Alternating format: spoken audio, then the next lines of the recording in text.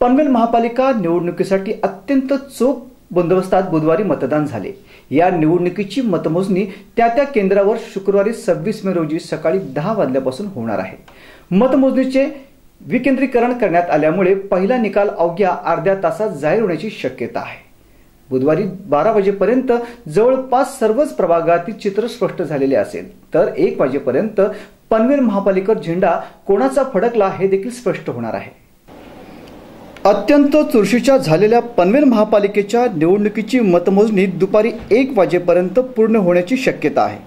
मतमोजणीसाठी सर्व सहा केंद्रावर पुरेसे कर्मचारी आणि आवश्यक असलेला पोलीस बंदोबस्त ठेवण्यात आला आहे. कोणताही अनुसूचित प्रकार घडू नये यासाठी खबरदारी घेण्यात आली आहे.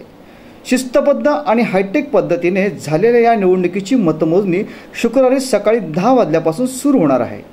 प्रभागाचे विभाजन करून केंद्रनिहाय मतमोजणी होणार असल्याने अवघ्या अर्ध्या तासातच पहिला निकाल जाहीर होण्याची शक्यता आहे. तसेच संपूर्ण निवडणुकीचा निकाल दुपारी बारापर्यंत पूर्ण होऊन एक वाजेपर्यंत मतदारांनी पनवेल महापालिका नेमकी कोणाच्या ताब्यात दिली याचे चित्र स्पष्ट होईल. मतमोजणीबाबत प्रचंड उत्सुकता आहे.